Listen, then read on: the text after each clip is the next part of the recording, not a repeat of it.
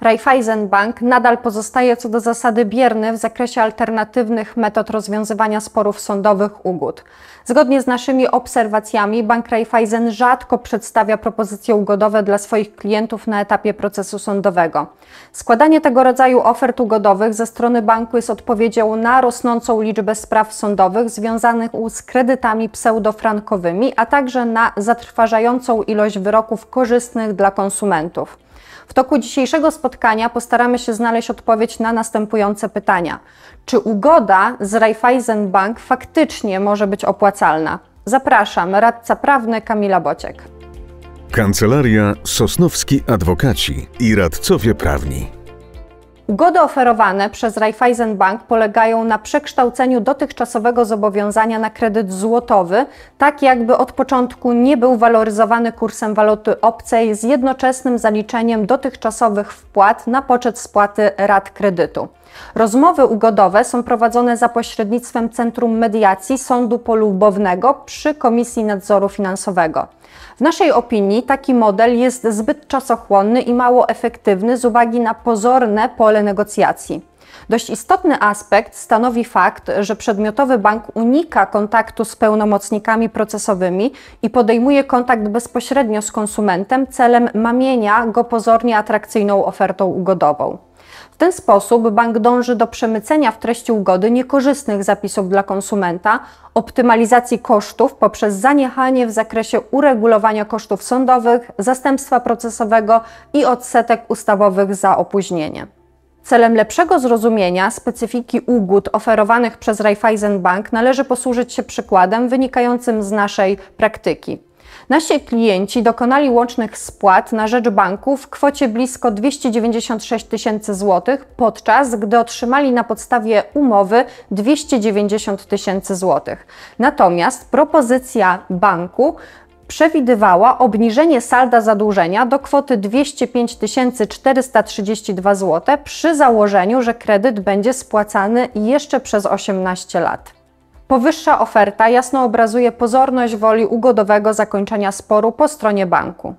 Linia orzecznicza w sprawach frankowych przeciwko Raiffeisen Bank w Polsce jest stabilna i korzystna dla kredytobiorców. Nie można zapomnieć, że przełomowy wyrok w sprawie państwa dziubaków dotyczył właśnie tego banku.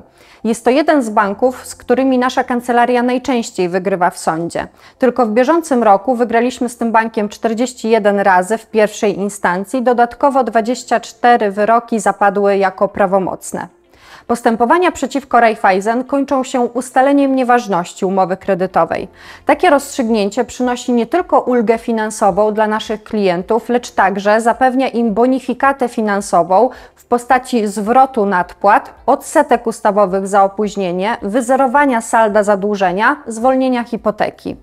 Czynności rozliczeniowe oraz postępowanie wieczystoksięgowe przeprowadzamy dla naszych klientów w ramach obsługi. Warto również zauważyć, że sprawy frankowe są procedowane coraz szybciej, a niektóre banki czasami nie decydują się na zaskarżenie wyroku. Być może do tego grona dołączy wkrótce Raiffeisen.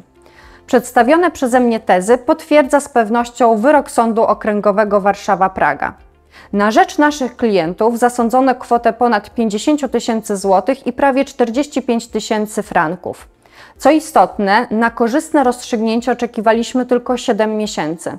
Z pola uwagi nie można też stracić wyroku Sądu Okręgowego w Płocku, który ustalił nieważność umowy zawartej w 2008 roku. W sprawie na rzecz powodów zasądzono blisko 400 tysięcy złotych. Łączny czas trwania procesu wyniósł zaledwie 5 miesięcy. Nie można też pominąć, szczególnie dla nas ważnego wyroku Sądu Apelacyjnego w Białymstoku, na skutek którego nasi klienci uzyskali kwotę około 280 tysięcy złotych, powiększoną o odsetki ustawowe za opóźnienie. Przy założeniu, że pozwany dokonałby zapłaty niezwłocznie, to łączna korzyść z tytułu samych odsetek oscylowałaby na poziomie blisko 64 tysięcy złotych. Orzeczenie sądu pierwszej instancji stanowiło dla nas i naszych klientów wyzwanie, ale nie straciliśmy wiary w sprawiedliwość oraz w słuszność naszych argumentów. Mianowicie sąd okręgowy uwzględnił jedynie żądanie ewentualne, tym samym zawsze warto jest walczyć o swoje prawa i w konsekwencji uzyskać wyrok nieważnościowy. Warto przypomnieć, że choć ugoda jest często postrzegana jako szybsza i mniej stresująca forma rozwiązania sporu z bankiem, to jednak nie zawsze gwarantuje korzyści, jakie można uzyskać w wyniku procesu sądowego.